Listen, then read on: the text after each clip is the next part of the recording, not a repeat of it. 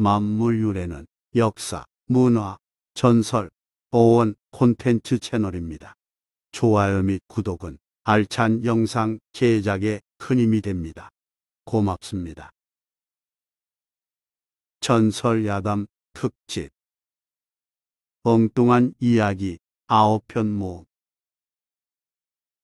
전설 야담 중에서 엉뚱한 이야기 아홉 편을 골라 담았습니다. 아래와 같은 순서로 재생됩니다. 전설야담 엉터리 의원의 엉뚱한 출세 17세기 중엽의 일입니다. 영의정 김육이 중병을 앓았는데 경량 각지의 명의가 모두 찾아와 진맥 처방했지만 그의 병세는 좀처럼 완화되지 않았습니다. 애가 탄 나머지 아들 김좌명을 비롯해 온 식구가 알려지지 않은 명의를 찾고자 백방으로 뛰어다녔습니다. 이 소식은 정인화라는 위인의 귀에도 들어갔습니다. 정인화는 명색은 의원이지만 언제 의술을 배웠는지 분명하지 않은 인물이었습니다. 처방 및 치료도 시원치 않았기에 찾아오는 환자가 별로 없어서 배 곪는 날이 많을 정도였습니다. 고픈 배를 움켜쥐고 틀어박혀 지내던 정인화는 그 소식을 듣고 잠시 생각하다가 무릎을 탁 치고는 빙그레 웃었습니다. 정인화는 먼저 영의정택 하인들의 내력을 비밀리에 모두 조사한 뒤 밥술 깨나 먹는 이웃집에서 옥과 의관을 빌려 입고 영상 대감집을 찾아갔습니다. 여보아라. 손님의 외짐에 하인 한 명이 나오자 정인화는 대뜸 그의 이름을 물었습니다. 하인이 이름을 말하자 정인화는 신축년생이겠군. 이라며 나이를 맞췄습니다. 하인이 깜짝 놀라며 어떻게 자기 나이를 아느냐고 물으니 정인화는 척 보면 다 아는 수가 있다면서 혹기침했습니다. 그런데 지나다 보니 이 댁이 어째 수심에 잠겨 있는 것 같은데 무슨 일이 있는가? 하인이 주인 대감께서 와병 중이라고 말하자 정인화가 한마디 했습니다. 수화불상용일 테지. 수화불상용은 물과 불은 서로 받아들이지 않음. 즉, 두 사물이 서로 융합할 수 없거나 사람들이 화목하지 못해 화합할 수 없음을 비유한 말입니다. 그 뜻을 모르는 하인은 그럴싸한 용어에 현혹되어 안으로 들어가 김좌명에게 신령스러운 사람이 왔다고 아뢰었습니다. 김좌명은 급히 나와서 정인화에게 부탁했습니다. 혹시 의술이 있으시면 저의 가친을 좀 보살펴 주시오. 안으로 안내된 정인화는 김육대감의 맥을 짚은 뒤 이렇게 말했습니다. 내가 이래 동안 정성을 들이면 나아질 것입니다. 다만 이 병실에는 다른 사람들이 훨씬 못하도록 해야 합니다. 그날부터 정인화는 상이 휘어지게 차려진 진수성찬을 즐기며 편안히 지냈습니다. 그러는 가운데 약속한 치료 기간 1회 중 엿새가 지나갔습니다. 아무 약방문이라도 써야 할 판이지만 그런 걸 알턱 없는 정인화는 하룻밤만 더 묵고 그 길로 도망칠 생각만 했습니다. 1회가 되는 저녁 마지막 상을 받은 정인화는 불안한 가운데 무심코 밥알 여러 알을 손끝으로 만지작거리며 비볐습니다. 잠시 후 손때 묻은 밥알은 환약처럼 새까맣게 되었습니다. 정인화는 그것을 보다가 문득 환자에게 주어야겠다는 생각이 들었습니다. 뭔가 치료를 했다는 조치가 필요하기도 했고 달리 다른 처방도 없었으니까요. 식사 후 정인화는 김육대감에게 말했습니다. 이 환약을 잡수시면 곧 차도가 있을 겁니다. 김육이 그것을 물에 섞어 마시자 정인화는 잠깐 밖에 다녀올 테니 그대로 누워 계시라고 말하고는 도망쳤습니다. 그런데 다음 날 놀라운 일이 벌어졌습니다. 자고 일어나니 김육대감의 병이 씻은 듯이 나아진 것입니다. 그 무렵 정인화는 약간 불안하지만 자기 정체를 알 리 없으니 들키지 않으리라 생각하며 숨어 지냈습니다. 하지만 기적 같은 치료에 감동한 김육과 김좌명은 사람을 시켜 수소문하여 노인 정인화를 기어코 찾아냈습니다. 정인화는 처음에 자신을 문책하러 온 줄 알고 두려워했지만 어쩌면 그렇게 신묘한 환약을 발명했냐는 물음을 받자 안도하면서 거드름 피우며 말했습니다. 뭐 대단치도 않은 것이 왜다. 짐작컨대 김육대감의 치료 사례는 플라시보 효과에 의한 완치로 여겨집니다. 일주일 만에 완성된 단 하나의 환약을 특별한 효능이 담긴 명약으로 여겨서 병이 나아졌을 것입니다. 그렇지만 그걸 모르는 김육대감은 정인화를 특별 대우해 주었고 덕분에 정인화는 명예 행세하며 여유로운 여생을 보냈다고 합니다. 전설야담 낡은 집신으로 벼락부자된 근대판 봉이 김선달 소양 문물이 밀려오던 19세기 말엽의 일입니다. 서울에 사는 한량 박피로는 평소 큰 소리와 허풍을 잘 쳤기에 사람들로부터 박돌로라고 불렸습니다. 박돌로는 언변이 좋고 학식도 뛰어났으나 얼굴은 얼고서 취했습니다. 박돌로는 세상 돌아가는 분위기를 살펴본 뒤 당시 실세 권력자인 박정량 댁을 찾아갔습니다. 아저씨, 안녕하십니까? 박돌로가 저를 구복하니 박정량 대신은 곰보 조카를 둔 기억이 없어서 고개를 갸우뚱했습니다. 그렇지만 여러 사람들이 있는 자리에서 내가 어디 내 조카냐? 라고 물어보기 애매해서 마지못해 고개만 끄덕거렸습니다. 박돌로는 그날로 그치지 않고 날마다 찾아가서 인사했습니다. 아저씨, 안녕하십니까? 그러자 어느 날 여러 사람이 물러갔을 때 박정량이 물었습니다. 너는 대체 누구인데 날 보고 아저씨라고 하느냐? 무두 무미한 놈이올시다. 그런 짓이라도 해야 대감께 뵐 기회가 있을 듯하여 그랬습니다. 용서해 주시옵소서. 무두무미는 밑도 끝도 없음을 뜻하는 말이니 자기 행동을 재치 있게 설명한 것이었습니다. 박정량은 박돌로의 그런 말솜씨와 과감한 행동을 높이 평가하여 국내부 주사 자리를 마련해 주었습니다. 국내부는 왕실에 관한 일을 맡아보는 관청이고 주사는 사무직 직원을 가리키는 명칭입니다. 비록 말단 표슬이지만 관직을 얻었으니 박돌로로서는 목표를 달성한 셈입니다. 그런데 박돌로의 기행은 여기서 멈추지 않았습니다. 박돌로는 집에서 낡은 집신 한 켤레를 가지고 와서 유리병에 넣고 알코올을 채워 사무실 한 모퉁이에 놓아두었습니다.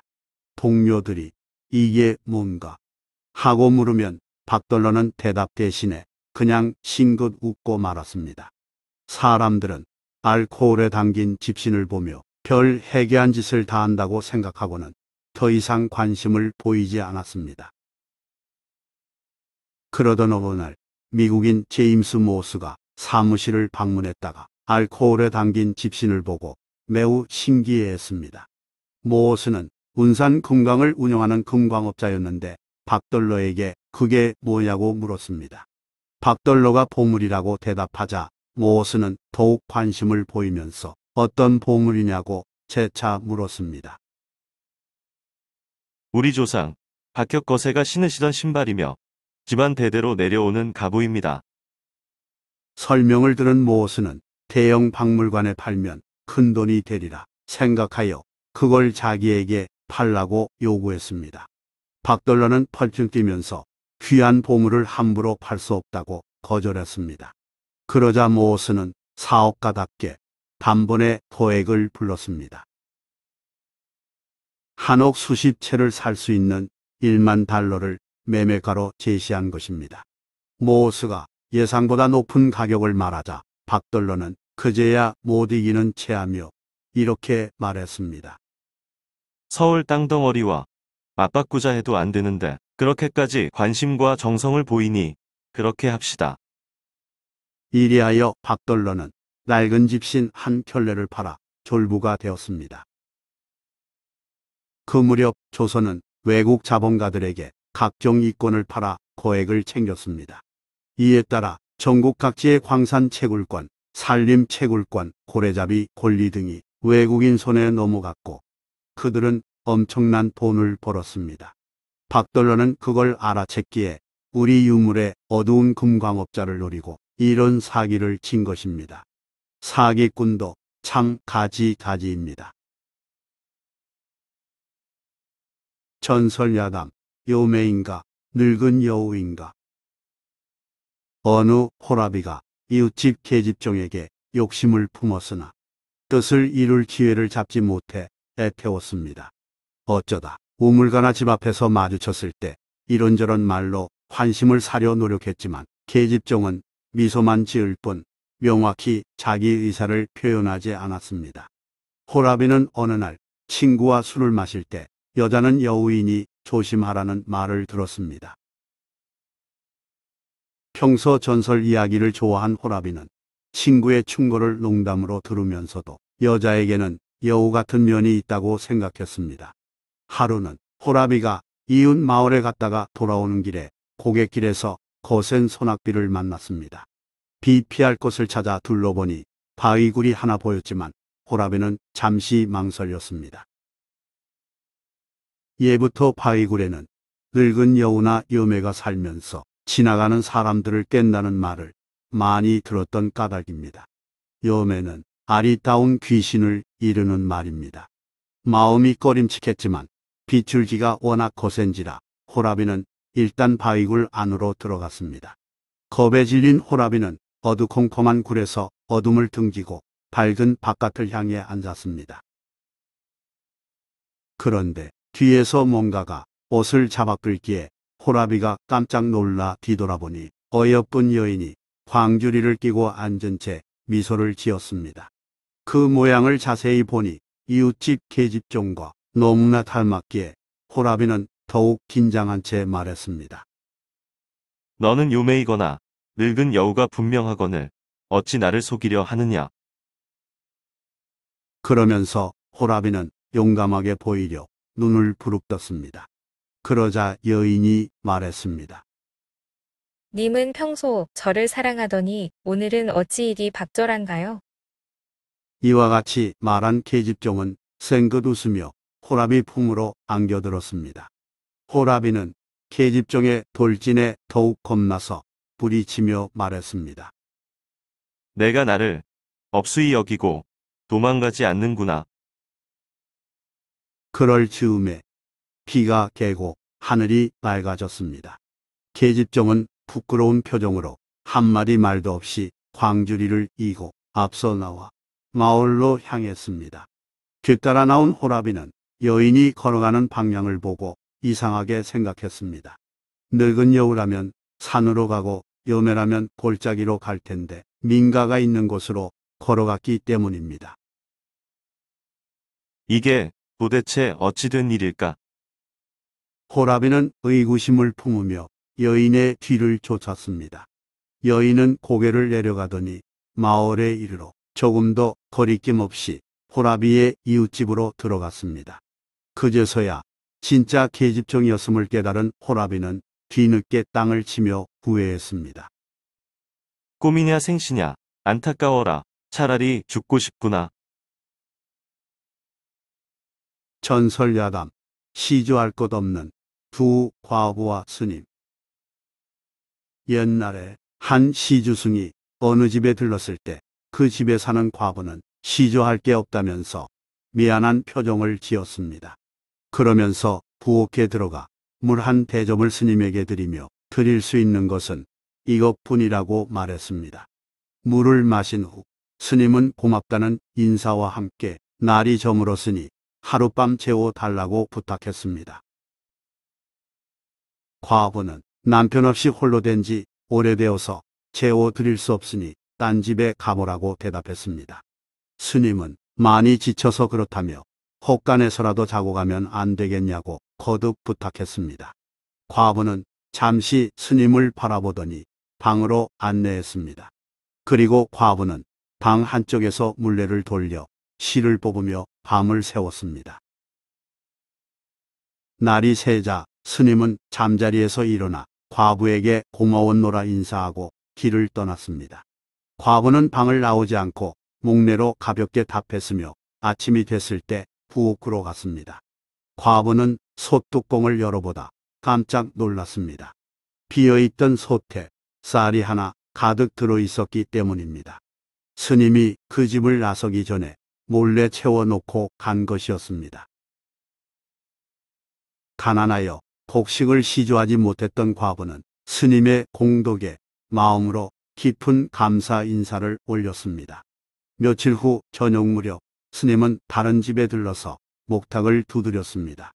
공교롭게 그 집도 과부 혼자 살았는데 역시 가난한 형편인지라 과부는 스님에게 시조할 게 없다고 말했습니다. 스님은 하룻밤 신세 질 수 있냐고 물었습니다. 과부는 스님이 원하시니 가능하다면서 방으로 안내했습니다. 잠자리를 펴고 스님이 먼저 잠들었습니다. 그런데 한밤이 되자 한쪽에 앉아있던 과부가 슬며시 이물 속으로 들어가더니 스님의 다리 위에 자기 다리를 얹었습니다. 그 바람에 스님은 잠이 깼지만 눈을 뜨지 않고 모른 채 하며 반응을 보이지 않았습니다. 과부는 옆으로 누워 스님의 가슴 위로 자기 팔을 얹은 채 집적거렸습니다. 비록 옷을 입은 상태이지만 여인의 젖가슴이 몸에 밀착되자 스님은 속으로 불경을 외우며 욕망을 참았습니다. 여인의 유혹 강도가 세질수록 스님의 연불 속도도 빨라졌습니다. 그렇게 밤을 보내고 날이 밝자 스님은 서둘러 그 집을 떠났습니다. 과부는 부르퉁한 얼굴로 스님 뒤통수에 눈총을 쏘아댔습니다. 아침이 됐을 때 과부는 부엌으로 가서 밥을 짓고자 솥뚜껑을 열었다가 깜짝 놀랐습니다. 그 안에 남자 약물을 연상시키는 가지 열매가 수북하게 쌓여 있었기 때문입니다.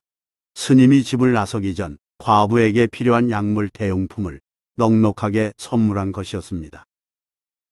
나무 아미타불 관세음보살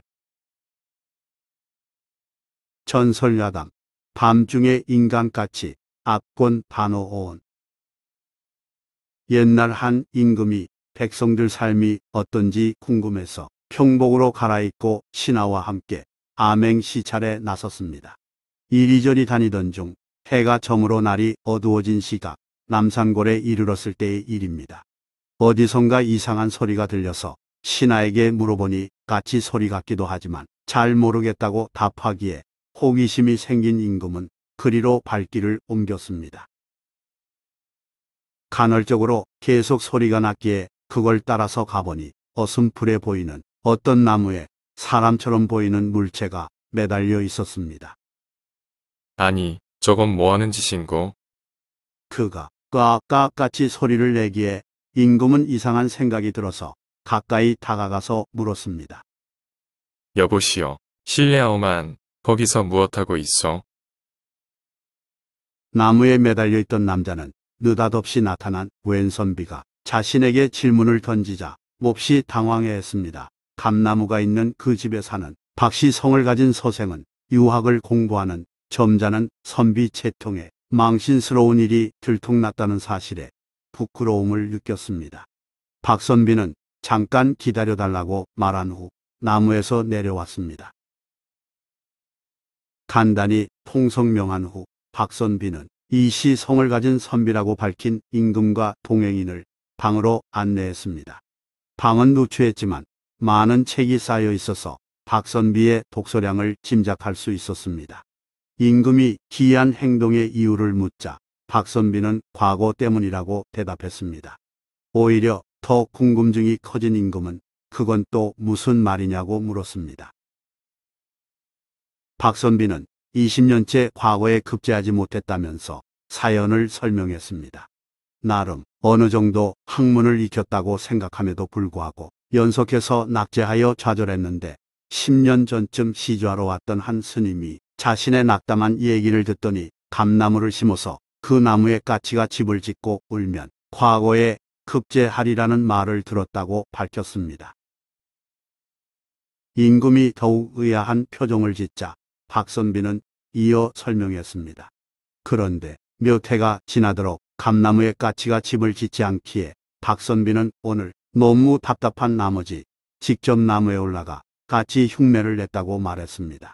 그러면서 박선비는 자신의 실력이 부족해 급제하지 못했건만 남 부끄러운 짓을 했다며 스스로 자책했습니다.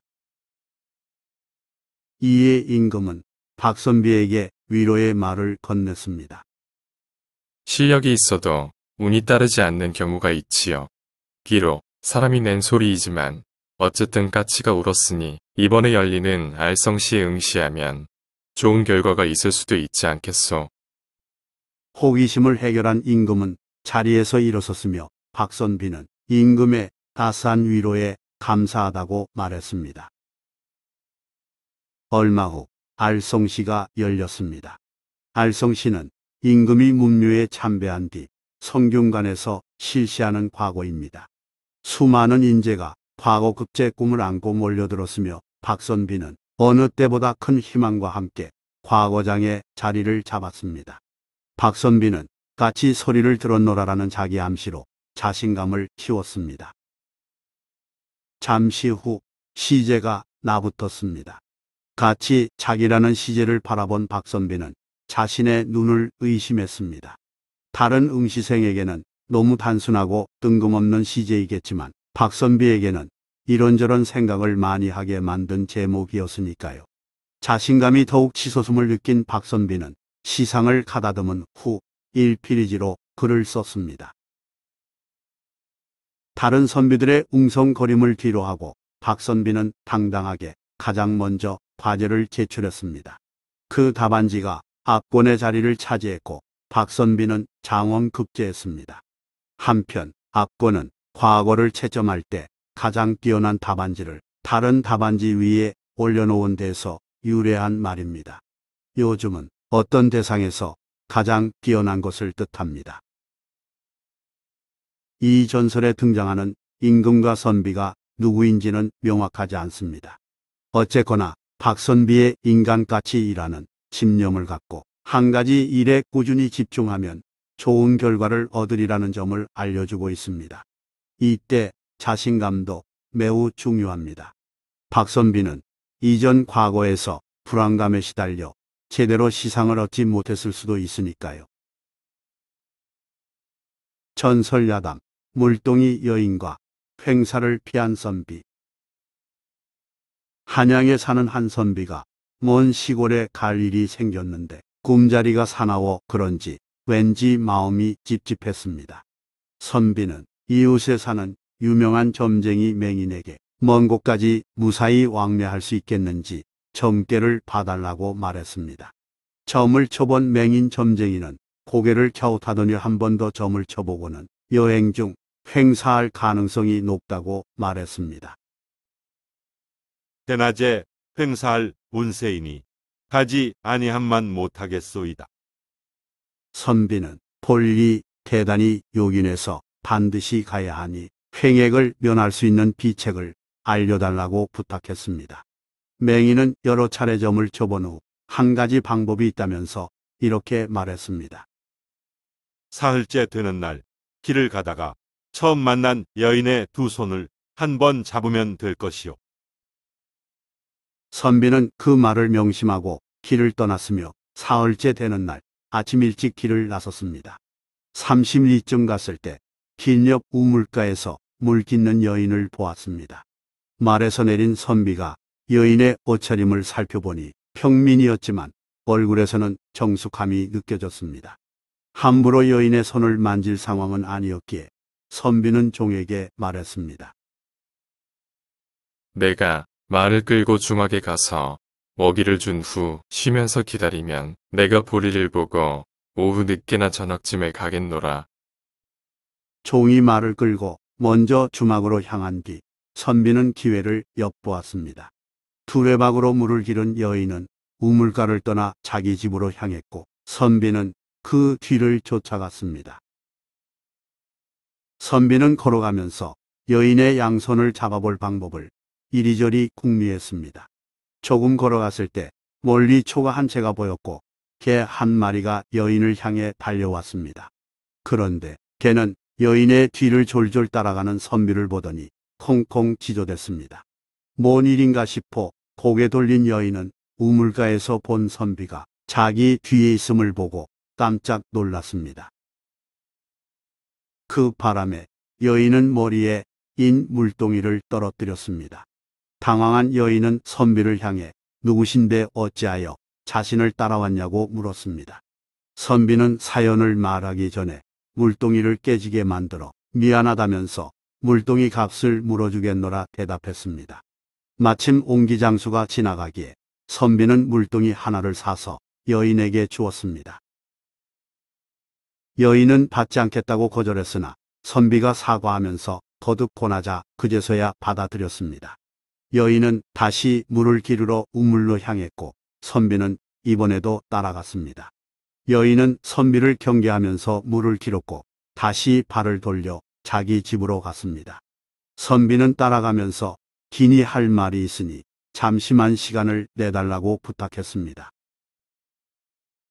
여인이 선비의 기색을 살펴보니 치안으로 보이지는 않았기에 침묵으로 응답했습니다. 집에 도착한 후 여인은 물동이를 내려놓고 선비에게 할 말이 무엇이냐고 물었습니다. 선비는 애가 탈 정도로 마음 급한 사정이 있어 애걸한다면서 들어주면 고맙겠다고 말했습니다. 여인은 그게 뭐냐고 물었고 선비는 사연을 말했습니다. 지금 천리 길을 가는 중인데 길 떠나기 전에 점쳤더니 오늘 처음 만나는 여인의 두 손을 잡아야만 기명 행사를 면한다고 합니다. 그대를 잠깐 본 즉 사람 됨됨이 귀하거늘 바라건대 그대는 장차 죽을 이 사람의 생명을 살리기 위해 음덕을 베풀어 주시면 고맙겠습니다. 감히 염치 불구하고 부탁합니다. 여인은 말없이 깊이 생각하다가 이렇게 말했습니다. 제가 비록 천한 집안의 딸이나 남부끄러운 짓을 한 적이 없습니다. 또한 남편이 멀리 떠나 있는 상태이기에 몸가짐을 더욱 철저히 해야 합니다. 하지만 한 사람 목숨을 구하는 일이니 들어드리겠습니다. 다만 대낮에는 눈이 있어 곤란하니 해 저물 때까지 다른 곳에서 기다려 주세요. 선비는 알겠다고 대답하고는 밖으로 나갔다가 해가 진 뒤에 여인의 집을 다시 찾아갔습니다. 선비는 여인의 두 손을 살짝 잡았다가 이내 손을 풀고 고맙다고 인사했습니다. 그러면서 선비는 작별할 때 돈 열량을 내놓았습니다. 여인은 돈을 사양하면서 어서 가보라고 말했습니다. 사람을 살리려 했을 뿐이니 돈 받을 이유가 없습니다. 선비는 여인에게 거듭 감사 인사하고는 서둘러 자신의 종이 머물고 있을 주막으로 갔습니다. 주막에 도착하니 마당에서 서성거리며 있던 종이 초조한 표정으로 선비를 맞이했습니다. 선비가 무슨 일이 있었냐고 묻자 종은 낮에 있었던 일을 보고했습니다. 종이 말한 일은 대략 이러했습니다. 종이 말을 끌고 우물가로부터 10여 리쯤 가서 돌다리를 건널 때 갑자기 다리가 무너졌고 종은 가까스로 활을 피했지만 말은 물로 떨어지고 바위에 부딪혀 허리가 부러져 죽었다는 것이었습니다. 종은 황당하게 죽은 말을 가까운 마을에서 팔고 빈 몸으로 주막에 와서 이렇게 마냥 기다리고 있었노라 말했습니다.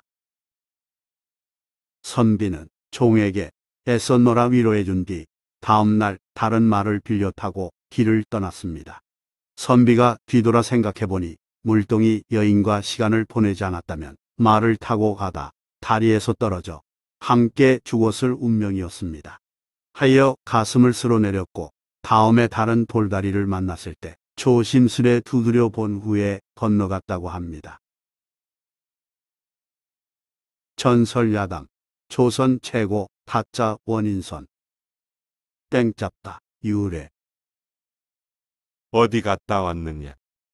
이조 참판원경하는 늦은 밤 집에 돌아온 아들 원인선을 불러 무슨 일로 늦었는지 물었습니다. 원인선은 곧바로 대답하지 못하고 우물쭈물했습니다.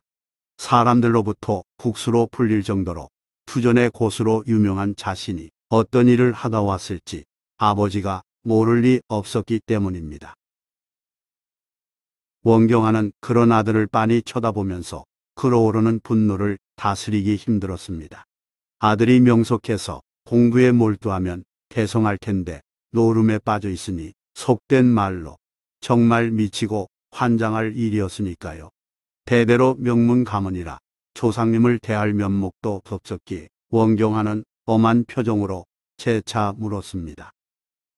무얼 하다 왔느냔 말이다. 원인소는 솔직하게 대답했습니다. 투전을 끊으려고 해도 국수라고 소문나는 바람에 여러 사람이 도전해 오는데 이를 거절하면 그들은 제가 비겁하다고 나쁜 소문을 냅니다. 그러니 제 명예를 위해 투전을 안 할 수 없습니다. 못마땅한 표정을 지은 원경하는 아들을 방으로 불러들여 그 투전 실력을 보자며 직접 시험했습니다. 원경하는 아들에게 투전패 80장을 보여준 뒤 하나하나 뒤집어 놓았습니다. 그런 후 아들 원인손의 눈을 가린 상태에서 만약 틀리면 손을 잘라버리겠다는 무서운 경고와 함께 투전패를 알아맞혀 보라고 말했습니다. 원인손은 눈이 가려진 상태에서 아버지가 뒤집어 놓은 패를 모두 맞췄습니다. 아들 원인선의 놀라운 투전 능력을 확인한 원경하는 다음과 같이 말하며 크게 탄식했습니다. 투전 능력도 하늘이 낸 제주요. 귀신의 지혜로구나. 이후 원경하는 자포자기하는 심정으로 아들 원인선의 투전 노름을 막지 않았습니다. 이에 따라 원인선은 아버지 눈치를 보지 않고 투전판에서 시간을 보냈습니다. 그러던 어느 날 원인선이 투전하던 중에 옆에 다른 판에서 살인이 일어났습니다. 원인선을 모시고 다니는 집안 모습이 기다리는 동안 자신도 투전하면서 투전패에다 비밀 표시를 해두는 습곡으로 부정을 저지르다가 다른 사람에게 들켜서 시비 도중 칼에 맞아 죽은 것이었습니다. 이 일은 원인손에게 엄청난 충격을 안겼습니다.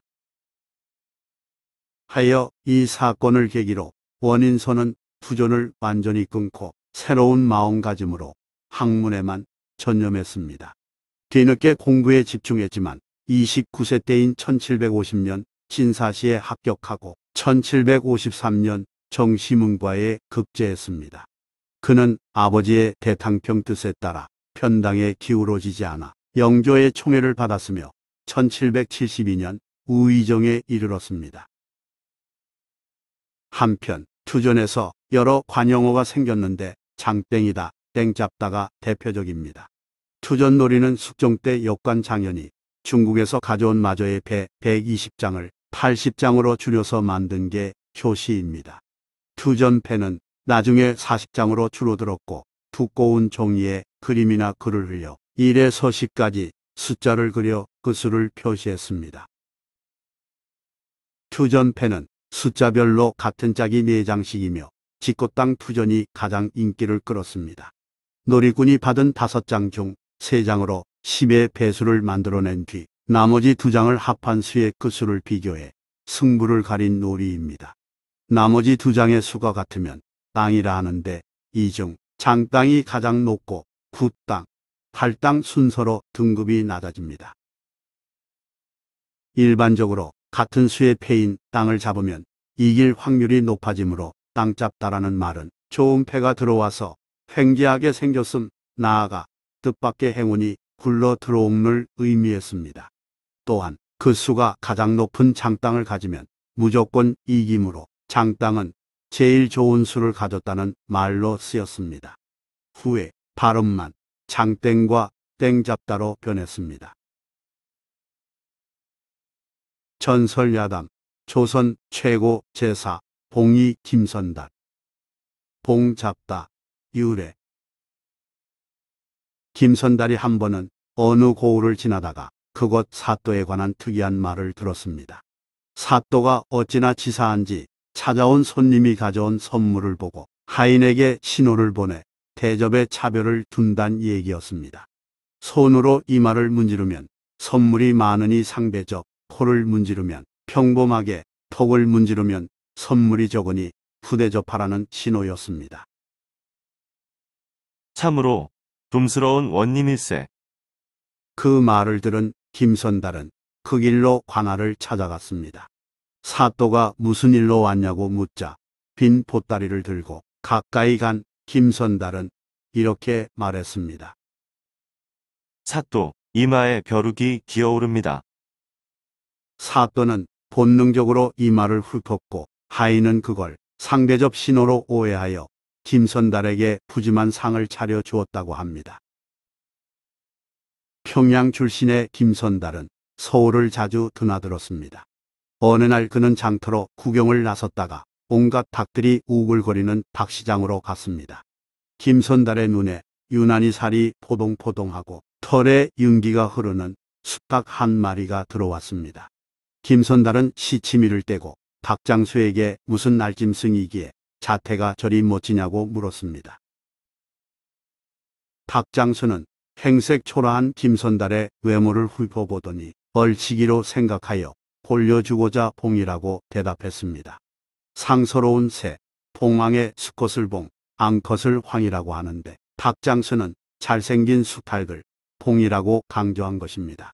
김선달은 이게 그 말로만 듣던 봉황새냐면서 놀란 표정을 지으며 물었습니다. 그 새도 파는 것이요. 닭장수가 그렇다고 고개를 끄덕이자 김선달은 얼마냐고 물었고 닭장수는 열냥이라고 말했습니다. 그냥 닭은 한 마리에 한 양이지만 봉은 매우 귀한 새라서 열배 비싸다는 말도 곁들였습니다. 김선달은 일절 값을 깎지 않고 닭장수가 부르는 대로 치르고 그 수탈을 받았습니다. 그리고는 곧바로 관아로 달려갔습니다. 김선달은 관아 문지기에게 품에 안고 온 수탉을 보여주며 사또에게 바치고 싶다고 말했습니다. 사또 앞에 선 김선달은 귀한 봉황이라 드리고 싶어 가져왔노라 말했지만 사또는 헛소리로 희롱한다면서 김선달에게 곤장 열대를 치라고 명했습니다. 매를 맞은 뒤 김선달은 눈물을 흘리며 자신의 억울함을 하소연했습니다. 사또가 아직도 정신 차리지 못했느냐고 호통쳤으나 김선달은 물러서지 않고 탁장수가 분명히 봉이라고 말하기에 망설이지 않고 샀노라 항변했습니다. 그제서야 상황을 파악한 사또는 닭장수를 당장 잡아오라고 지시했습니다. 나절에게 붙들려온 닭장수는 닭을 봉이라고 속여 팔았느냐는 사또의 물음에 크게 당황해 했습니다. 볼기를 맞아 얼굴에 독이 오른 김선달이 노려보고 있는지라 닭장수는 어쩔 수 없이 사실을 인정했습니다. 사또는 김선달에게 얼마에 샀느냐고 물었습니다. 김선달이 열량에 샀다고 대답하자 사또는 이제 어찌하면 좋겠느냐고 물었습니다. 이에 김선달은 분이 풀리지 않은 듯한 표정을 지으며 이렇게 말했습니다. 닭장수가 저를 속인 바람에 저는 죄 없이 열대 맞았습니다. 제가 닭값에 열배를 주고 가짜 봉을 샀듯이 닭장수에게 제가 맞은 본장의 열배인 백대를 쳐 주시든지 아니면 제가 닭장수에게 준 열량의 열배인 백량을 저에게 지불하라고 판결해 주십시오. 그렇게 하면 모든 것이 공정할 듯 싶습니다. 사또가 듣고 보니 그럴듯한 얘기였습니다. 사또가 그대로 이행하니 닭장수는 곤장 백대를 맞았다가는 살아나갈 수 없을 터이므로 부득이 백량을 선택했습니다. 이렇게 마무리된 사건은 꼬리에 꼬리를 물고 전국에 퍼져 사람들은 김선달 이름 앞에 봉이라는 별칭을 붙여 봉이 김선달이라 부르게 되었습니다. 그리고 이때부터 어리숙하여 무언가 빼앗아 먹기 좋은 사람을 놀릴 때 봉 잡았다라고 표현했습니다.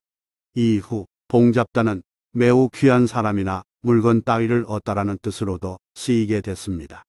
한편 훗날 김선달은 한양 투기꾼에게 대동강 물을 속여 팔았는데 이에 연유하여 남을 감쪽같이 속이는 행위를 공수편매라고 말합니다.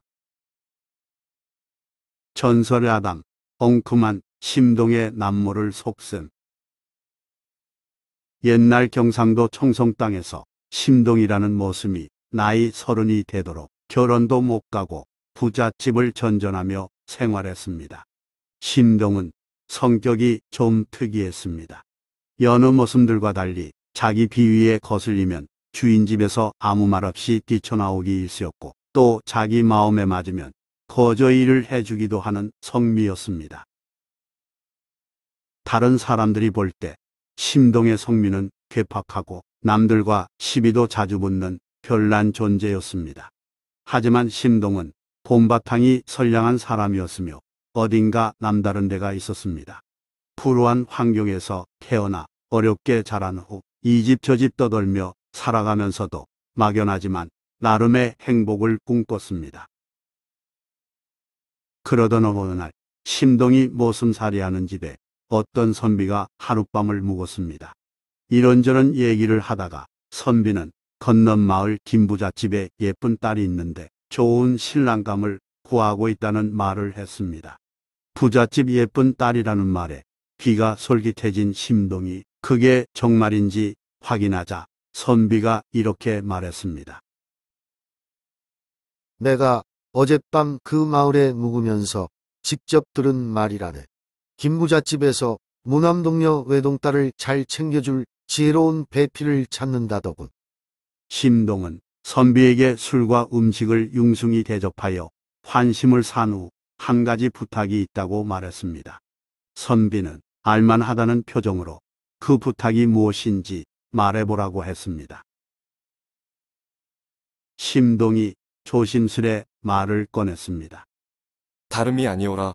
선비님께서 신랑감을 구한다는 그 처녀 집에 가셔서 이웃 마을에 심동이라는 쓸만한 총각이 있다고 말씀 좀 해주십사 하는 것이옵니다. 아니, 이 사람, 집 한 칸 없는 자네에게 누가 귀한 외동딸을 주겠나? 말도 안 되는 소리. 그만하게. 그러니까 제가 부탁을 드리는 것이지요. 그저 가시거든 머슴 산다는 말만 되고 장차 큰 인물이 될 총각이라고만 이야기해 주셨으면 합니다. 심동은 두 손을 빌면서 선비에게 간절한 표정으로 애원했습니다. 선비는 심동과 말을 나누는 과정에서 인물이 괜찮다고 생각했기에 잘 되면 한턱 내라며 수락했습니다. 다음 날 선비는 김부잣집을 찾아가 처녀의 아버지에게 심동에 대한 칭찬을 늘어놓았습니다. 참으로 요즘 보기 드문 총각입니다. 영감님께서 잠시 말미를 내셔서 직접 보시면 알 것입니다. 아무것도 모르는 처녀의 아버지는 선비 말만 듣고 심동을 쓸만한 총각이라고 생각하면서 언제 한번 찾아가 봐야지 마음먹었습니다. 그 시간에 심동은 같은 마을에 사는 아저씨 뻘 되는 사람을 찾아갔습니다. 심동은 아저씨를 주막으로 모시고 가서 극진히 대접한 후 건넌 마을 김부자를 아느냐고 물었습니다. 아저씨가 조금 알고 지내는 사이라고 대답하자 심동은 한 가지 청이 있다며 자신의 용건을 말했습니다. 제가 그 집에 장가가고 싶어서 그렇습니다. 2, 3일 뒤 그 집에 가셔서 김영감님을 만나시거든 심동이라는 총각은 똑똑한 인물이지만 사내 고실 못하는 고자이니 절대로 딸을 주지 말라고 말씀 좀 해주십시오. 깜짝 놀란 아저씨가 언제 고자가 됐냐고 묻자 심동은 사실은 장가가기 위한 계책이라며 거듭 부탁했습니다. 아저씨, 저는 멀쩡합니다. 그냥 제가 부탁드린 대로만 말씀해 주십시오. 그리고 김영감님 입으로 제가 고자라는 소문이 널리 퍼뜨려지도록 해주십시오. 심동의 의중을 도무지 알 수는 없으나 아저씨는 나름 뭔가 있겠거니 생각하고 선선히 승낙했습니다. 심동은 아저씨에게 잘 부탁한다면서 푸짐하게 대접했습니다.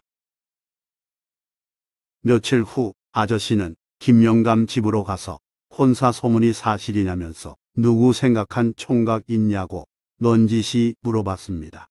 김영감이 심동이란 총각을 한번 보려 한다고 대답하자 아저씨는 심동이는 고자하고 폭로했습니다. 김영감은 뜻밖의 소식에 당황했지만 중요한 소식을 알려줘 고맙다며 가슴을 쓸어내렸습니다. 김영감이 큰일 날 뻔했다고 말하자 아저씨는 그런 괘씸한 녀석은 온 마을에 소문을 퍼뜨려 누구에게도 장가가지 못하도록 해야 한다고 말했습니다. 김영감은 맞는 말이라며 맞장 붙였습니다.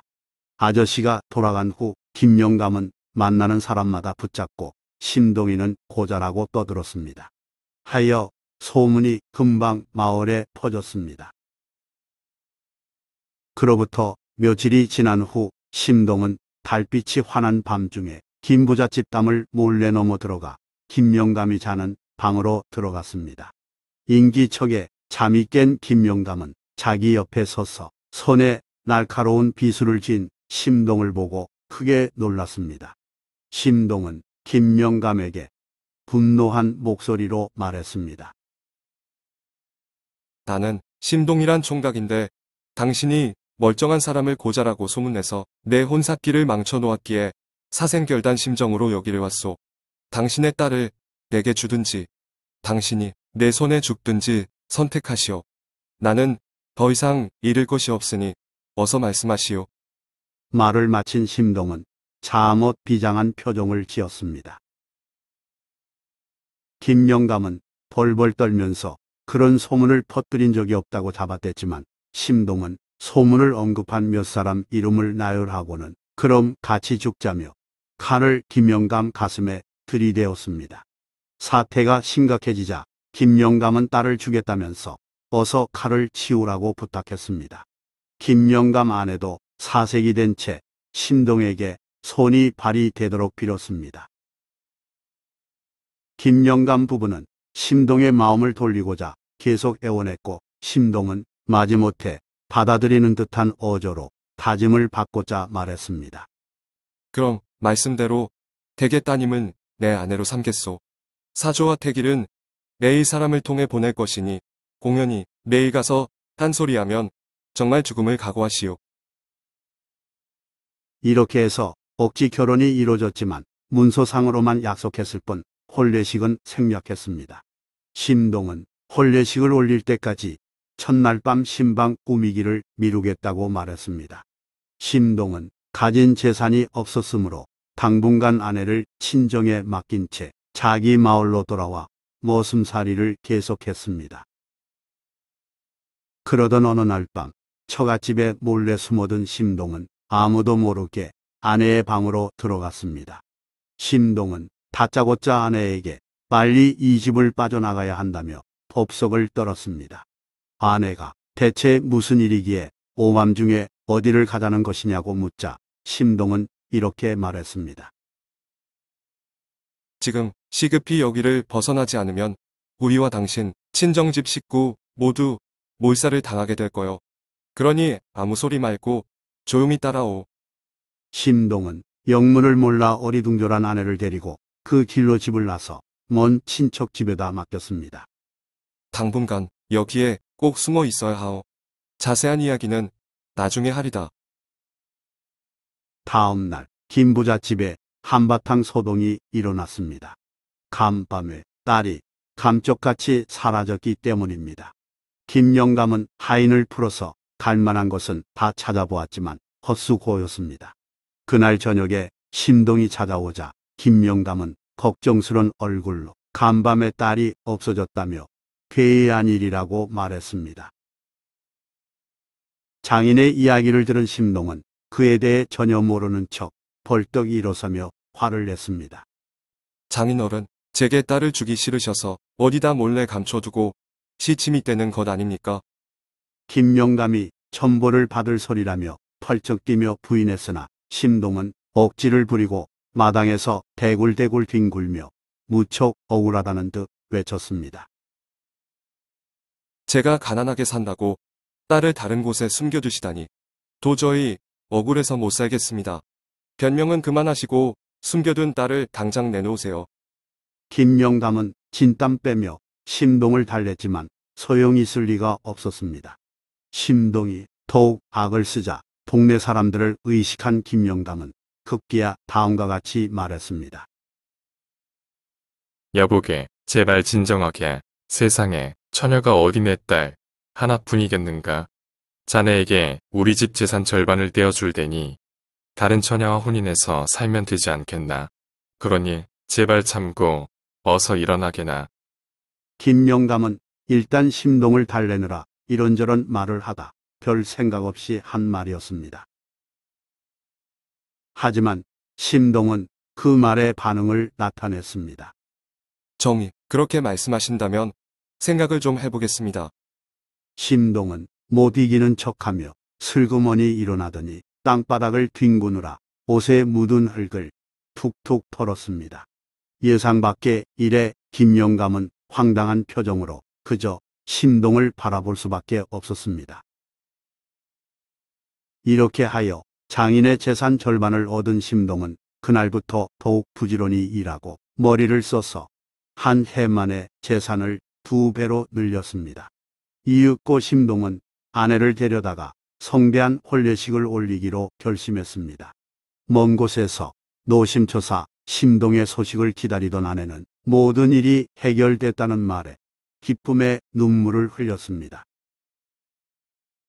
한편 김영감은 엉뚱하기 이를 데 없는 도둑놈 같은 사위를 만나 딸을 잃고 재산까지 절반이나 잃어 분통이 터졌지만 이미 지나간 일이라고 애써 마음을 달래며 지냈습니다. 그러던 차에 심동의 결혼 소식을 들으니 마음이 착잡했습니다. 심동이 새 장가가는 것으로 오해했기 때문입니다. 혼례식 날이 되자 심동은 김영감 내외를 모시러 찾아와서는 신부가 누구인지 일부러 말하지 않았습니다. 김영감 내외는 마지못해 따라 나섰고 혼례식장에서 신부가 잃어버린 줄 알았던 자기 따님을 깨닫고는 너무 기쁜 나머지 미친 듯이 껄껄껄 웃었습니다. 심동은 그제서야 무릎을 꿇고 김영감 내외를 향해 공손하게 사죄했습니다. 장인 장모님, 지금까지 저의 잘못을 너그럽게 용서해 주십시오. 미천만 있으면 크게 일어설 자신이 있었기에 이런 일을 저질러 싸웁니다. 앞으로는 두 분을 잘 모시고 걱정 없도록 해드리겠습니다. 그러자 김영감은 미소 지으며 아내에게 말했습니다. 하, 하, 하, 우리 늙은이들이 저 녀석에게 감쪽같이 속았구려. 어쨌든 내 사위가 보통 녀석이 아니구려. 우리가 용서해 주십시다. 김영감은 심동의 손을 잡아 일으켜 세웠고 이후 심동은 장인 장모를 모시고 화목하게 일생을 보냈다고 합니다.